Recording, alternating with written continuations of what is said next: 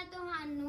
दादी की पोत्या नसीहत कविता सुना जा रहा हाँ तुम शेर बहादुर दुले बिलकुल ना घबरायो सुबह दरबार जाके गज के पते बुलायो